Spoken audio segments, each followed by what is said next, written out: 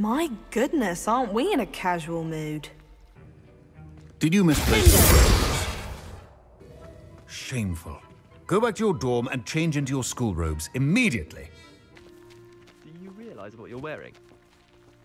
Flouting the norms of the day, I see. I suppose we each bloom in our own way. That doesn't look like the regulation uniform to me. Perhaps you've made yourself a bit too comfortable here. I like your pajamas. Forgotten your clothes? Hurrying to see the night sky, no doubt. That is hardly appropriate school attire.